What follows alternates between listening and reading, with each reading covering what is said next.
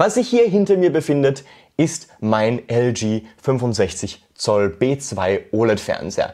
Und was viel interessanter ist, ist tatsächlich meistens der Inhalt da drauf und jetzt momentan ebenfalls.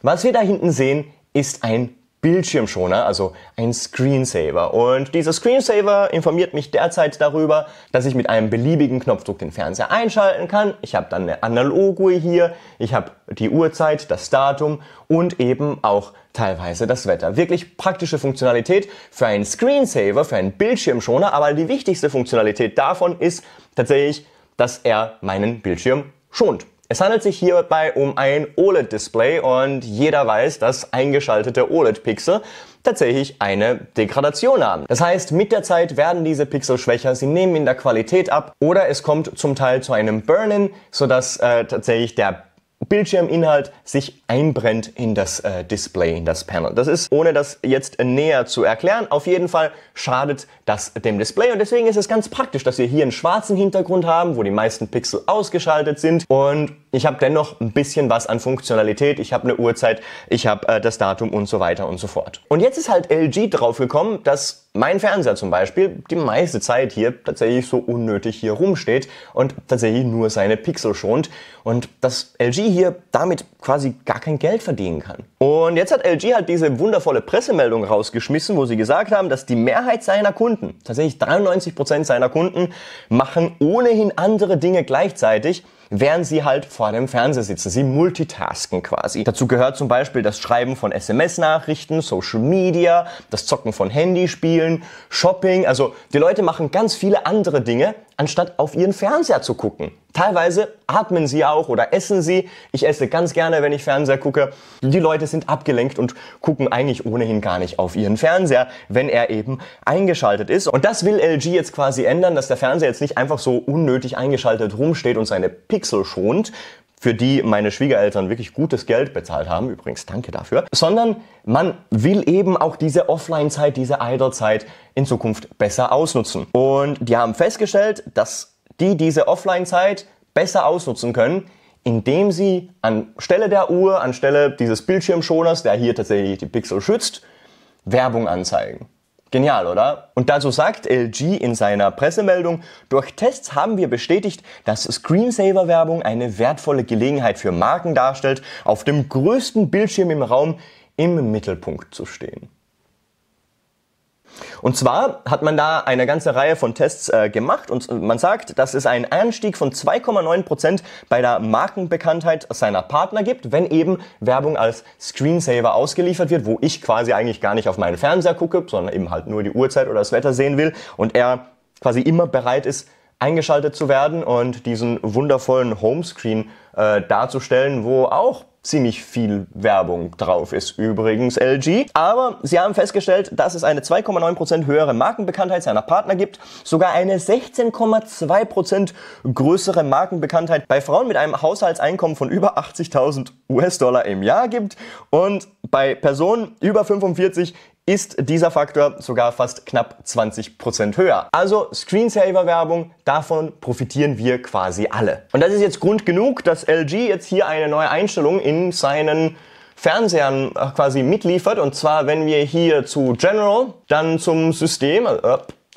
dann haben wir das hier versteckt bei Additional Settings, zusätzliche Einstellungen. Dann können wir hier die Screensaver-Werbung einschalten. Und was das bei mir konkret macht, nachdem bei mir alle anderen Werbeeinstellungen deaktiviert sind und ich keine Werbe-ID habe und die regelmäßig zurücksetze bei meinem Gerät, es passiert gar nichts. Der Screensaver schaltet sich einfach gar nicht ein. Das heißt, die Pixel meines Fernsehers schalten sich nicht aus. Wundervoll. Und deswegen schalte ich hier auch die Screensaver Promotion direkt aus. Ich kann euch die Werbung gar nicht zeigen. Ähm, LG hat dafür ein paar Fotos veröffentlicht und zwar Bilder veröffentlicht in seiner Pressemeldung. Aber wie die das formulieren, ist quasi, dass das tatsächlich einfach nur ungenutzte Bildschirmzeit ist, die man jetzt quasi für seine Werbepartner effektiv ausnutzen kann, anstatt eben wie ein Bildschirmschoner meinen Bildschirm, der übrigens wirklich billig ist, zu schonen.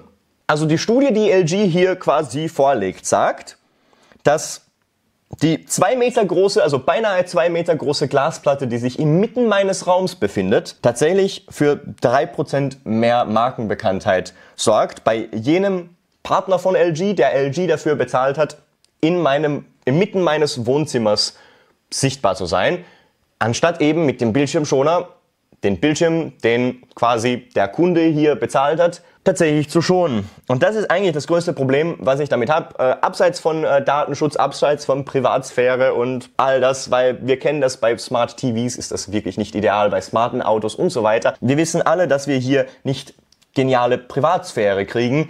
Äh, Zeit für Mediencenter-PCs, ganz ehrlich. Was aber tatsächlich ein Problem ist, meiner Meinung nach, das wir bisher nicht kennen, ist, dieser Screensaver auf einem OLED-Fernseher schadet tatsächlich dem Produkt das der Kunde mit seinem eigenen Geld.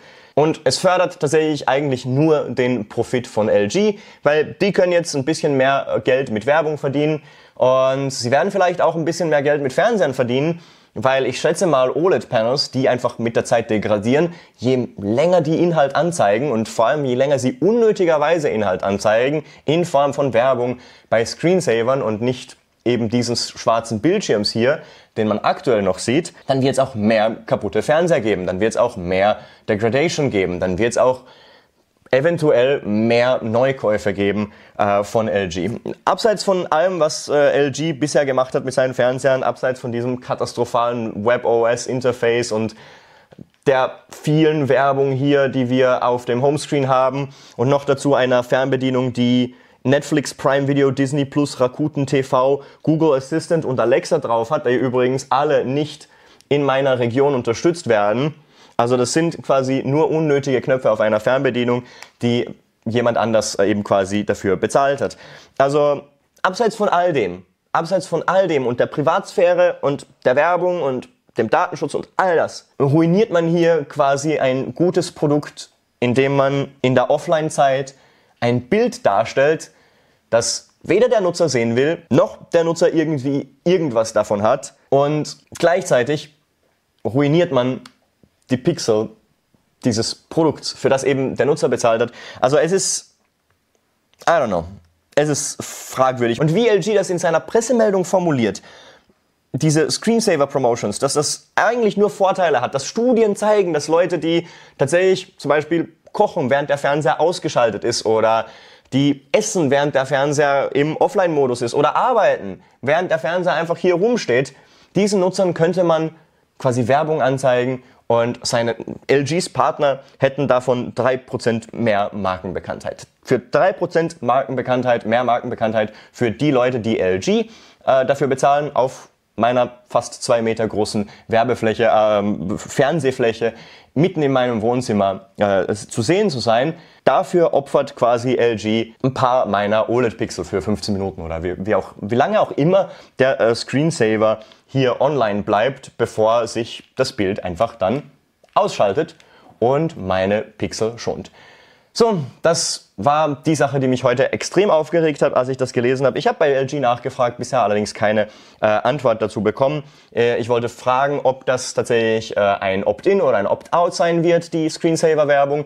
Bei meinem Fernseher ist es ein Opt-in, weil das quasi als Update nachträglich äh, mitgeliefert worden ist. LG sagt, man kann das deaktivieren und bei meinem Modell kann man das eh noch tun, wird allerdings eventuell für neuere Modelle von LG nicht mehr stimmen, ähm, dass man das zum Beispiel eben als Opt-in hat, dass man die Werbung tatsächlich aktiv selber aktivieren muss, weil bei allen anderen Sachen bei LG, äh, beim, bei, bei der Homescreen Promotion, äh, also bei der Homescreen Werbung, bei anderen Arten von Werbung im LG Interface, im WebOS, muss man tatsächlich ein Opt-out machen. Das heißt, man muss die Werbung aktiv in den Einstellungen äh, deaktivieren und diese sind noch schwerer zu finden, als sie das bei Windows 11 sind und schon dort sind sie ziemlich gut versteckt. Hier in den Einstellungen ist es echt katastrophal und noch dazu mit dieser Fernbedienung ist das äh, eine ziemliche Katastrophe. So, das war es auch schon von mir und äh, von diesem Thema.